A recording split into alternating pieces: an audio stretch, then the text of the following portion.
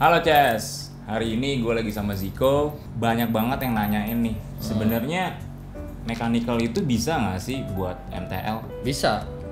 Jadi gini, sebenarnya hampir semua mekan semua mekanikal sih sebenarnya bisa aja buat MTL. Itu tergantung di resisten atau coil yang lu bikin buat mod lu atau baterai lu. Nah kebetulan gue pakai Little Boy nih. Little Boy juga banyak yang nanya, emang ini aman buat MTL? Ah, Sejauh ini sih gue pakai, ini gue pairing pakai Pico, aman sih.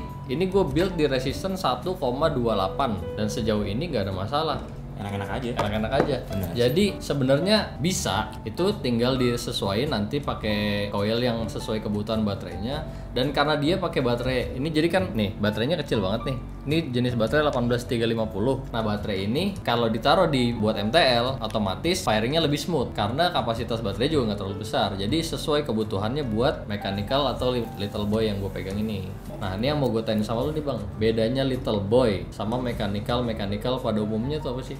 Nah, sebenarnya bedanya Little Boy dengan mechanical pada umumnya itu basically sih semua mechanical itu biasanya memakai baterai 18650 ya kan. Ada juga yang memakai 21700 cuman jarang. Dan ada beberapa juga kalau buat orang-orang tricker biasanya di stack tuh ya kan. Oh yang ditumpuk dua yang gitu ditumpuk tuh. dua gitu supaya apa ya? supaya kapasitas firingnya itu lebih besar kenapa memakai little boy ini membedakan dengan mechanical yang lain Hmm. satu little boy itu dia bentuknya sim- simple banget kecil dan jarang banget device yang memakai 18350 apalagi mechanical dengan 18350 Mm-mm. dan bisa dibilang dia itu yang lagi era zaman sekarang itu namanya pot skill. Jadi dengan sensasi yang lo sesuai dengan settingan lo, dengan sesuatu yang bisa lo set up atasnya atomizernya. Kan kebanyakan orang-orang memakai pots atau apa pun itu kan ya coilnya coil pabrikan yang sesuai dengan apa yang ada dari pabrikan Ya, kan. nggak bisa diapa-apain Nggak ya. bisa dilupain kan. Tapi sekarang semuanya itu bisa lo atur gitu. Dan powernya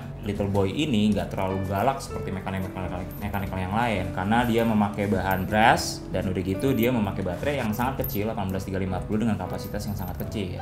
Makanya walaupun dia memakai baterai yang kecil ini bisa long life banget. Gue dari pagi ya biasanya gue memakai full baterainya. Biasanya sore sih gue ganti baterai gitu kebanyakan orang-orang memakai mechanical 18650 itu dengan resisten yang rendah. Kenapa? Karena powernya juga lebih besar. Pastinya dengan 1850 dengan atau 21700 buat lo semua yang pengen banget atau pengen tanya-nanya lagi lo bisa ngomong atau komen di bawah. Komen aja. nanti kita akan jawab. Thank you Jess